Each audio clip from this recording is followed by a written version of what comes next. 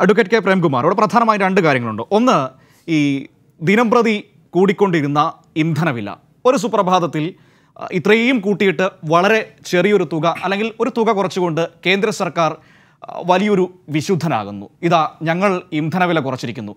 ആ ഇന്ധനവില അവർ കുറച്ചതോടുകൂടി ഇത്രയും ദിവസം അവർക്കെതിരെ ഉയർന്നു വന്ന ആ പ്രതിഷേധങ്ങളും അല്ലെങ്കിൽ എതിർസ്വരങ്ങളും ഒക്കെ റദ്ദാകേണ്ട ഒരു സാഹചര്യമാണോ ഉള്ളത്? കാരണം എത്ര രൂപ കൂട്ടിയിട്ടാണ് ഈ പത്ത് രൂപയും അഞ്ച് രൂപയും അവർ കുറച്ചിരിക്കുന്നത്. ഏകദേശം മുപ്പത്തിമൂന്നോളം രൂപ ഈ വർഷം തന്നെ കൂടിയില്ലേ? എന്നിട്ട് കുറയ്ക്കുന്ന സമയത്താണ് ഇവിടെ കോൺഗ്രസ് സമരം ചെയ്യുന്നത്. അതിൽ ബി ജെ പിക്കെതിരെ ഒരു അക്ഷരം പോലും അവർ മിണ്ടുന്നില്ല. എങ്ങനെയാണ് നമ്മൾ ഈ വിഷയത്തെ താങ്കൾ കാണുന്നത്? യഥാർത്ഥത്തിൽ കേരളത്തിൽ കോൺഗ്രസ് സ്വീകരിക്കുന്ന ഈ സമീപനത്തോടൊപ്പം തന്നെ ചേർത്ത് വായിക്കേണ്ട കാര്യം ദേശീയ തലത്തിൽ ഇന്ധനത്തിന്റെ തീരുവ കുറയ്ക്കുന്നതുമായി ബന്ധപ്പെട്ട് കോൺഗ്രസ് ഭരിക്കുന്ന സംസ്ഥാനങ്ങളിൽ ഒരു പൊതുവായ തീരുമാനം അവർക്ക് എടുക്കാൻ കഴിയുന്നില്ല എന്നുള്ളതാണ്. ഇപ്പോൾ രാജസ്ഥാനിലെ പെട്രോളിന്റെ വില രാജ്യത്തെ ഏറ്റവും ഉയർന്ന വിലയല്ലേ? കോൺഗ്രസ് ഭരിക്കുന്ന സംസ്ഥാനമല്ലേ?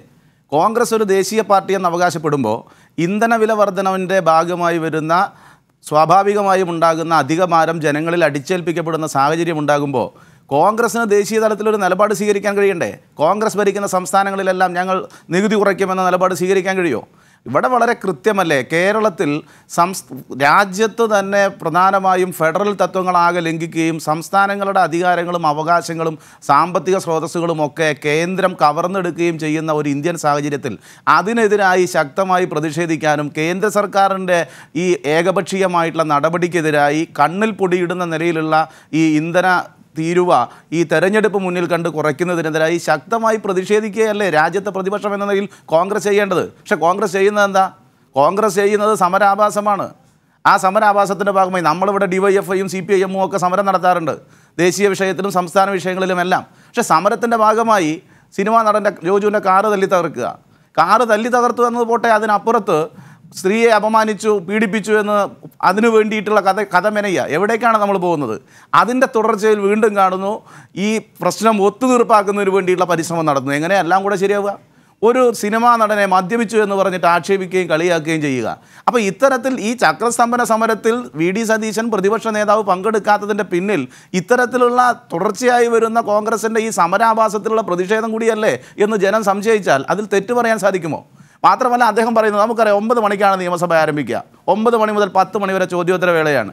പത്ത് മണിക്ക് ശേഷം സഭയിൽ സ്വാഭാവികമായിട്ടും റൂൾ ഫിഫ്റ്റി പ്രകാരമുള്ള സബ്മിഷനാണ്. സബ്മിഷന്റെ ഭാഗമായി പതിനൊന്ന് മണിക്ക് മുമ്പായിട്ട് സബ്മിഷൻ കഴിഞ്ഞല്ലോ ഇന്ന്. വേണമെങ്കിൽ പ്രതിപക്ഷ നേതാവിന് പോകാമായിരുന്നല്ലോ. പല സന്ദർഭങ്ങളിലും പ്രതിപക്ഷ നേതാവ് പോയിട്ടുണ്ടല്ലോ. പ്രതിപക്ഷ നേതാവ് ഇല്ലാതെ തന്നെ അവിടെ സബ്മിഷൻ കൺക്ലൂഡ് ചെയ്യപ്പെട്ടിട്ടുണ്ടല്ലോ. ഇതെല്ലാം ഈ മൂന്നാം സമ്മേളനത്തിൽ പതിനഞ്ചാം നിയമസഭയുടെ മൂന്നാം സമ്മേളനത്തിലും രണ്ടാം സമ്മേളനത്തിലും ഒക്കെ ഉണ്ടായിട്ടുള്ളതല്ലേ? അപ്പോൾ എന്തിനാണ് ഇങ്ങനെ പറയുന്നത്? ഡബിൾ റോൾ കളിക്കാൻ കഴിയില്ല എന്നാണ് പ്രതിപക്ഷ നേതാവ് പറയുന്നത്. ഇതൊക്കെ യുക്തിസഹമാണോ എന്ന് നാട് ചിന്തിക്കേണ്ടതാണ്. വി എം സുധീരന്റെ പ്രതികരണം മുല്ലപ്പള്ളി രാമചന്ദ്രന്റെ പ്രതികരണം ഇവരെല്ലാം കോൺഗ്രസിനകത്താണ് ഇപ്പോഴും. അവരുടെ പ്രതികരണം എന്താണ്? ഈ കാര്യമാണ് നാട്ടിൽ ജനം ചർച്ച ചെയ്യേണ്ടത്. ഒരിക്കലും ഒരു സമര രീതിയെ ആക്ഷേപിക്കുകയോ അവഹേളിക്കുകയോ അല്ല. പക്ഷേ സമരത്തിന്റെ ഭാഗമായി അത്തരമൊരു മുദ്രാവാക്യം മുന്നോട്ട് വയ്ക്കാനുള്ള ഒരർഹതയും യഥാർത്ഥത്തിൽ കോൺഗ്രസിനില്ല എന്ന് നാട്ടിലെ ജനം തിരിച്ചറിയുന്നുണ്ട്. ഒരു സമരത്തെ എങ്ങനെ ആഭാസമാക്കി മാറ്റാം? അതിൽ ആ സമരത്തിന്റെ ഭാഗമായി എങ്ങനെ ആളുകളെ അധിക്ഷേപിക്കാം? അതിന് ഇരയാകുന്നവരെ ആക്രമിക്കപ്പെടുന്നവരെ ഉൾപ്പെടെ എല്ലാ അർത്ഥത്തിലും അപമാനിക്കുന്ന നിലയിലുള്ള സമീപനം എങ്ങനെ സ്വീകരിക്കാം എന്നാണ് കോൺഗ്രസ് കാണിക്കുന്നത്. ഇതിനെതിരായിട്ടാണ് യഥാർത്ഥത്തിൽ കേരളീയ സമൂഹം പ്രതികരിക്കേണ്ടത് എന്ന അഭിപ്രായമാണ് എനിക്കുള്ളത്.